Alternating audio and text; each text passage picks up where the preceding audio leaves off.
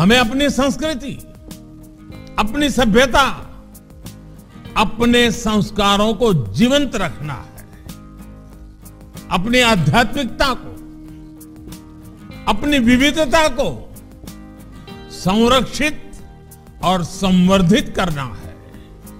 और साथ ही टेक्नोलॉजी, इंफ्रास्ट्रक्चर, एजुकेशन, हेल्थ की संस्थाओं को निरंतर आधुनिक भी बनाना है। देश के इन प्रयासों में आप सभी की, ब्रह्मा कुमारी जैसी आध्यात्मिक संस्थाओं की बड़ी भूमिका है।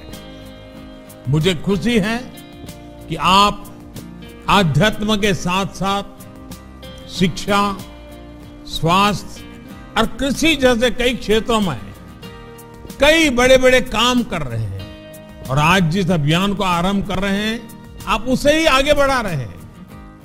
अमृत महोत्सव के लिए आपने कई लक्ष्य भी तय किए।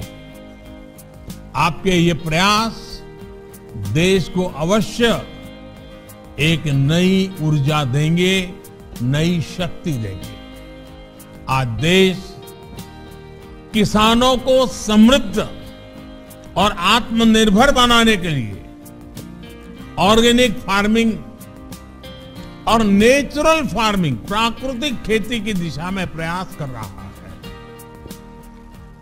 खान, पान, आहार की शुद्धता को लेकर हमारी ब्रह्मा कुमारी बहनें समाज को लगातार जागरूक करती रही है।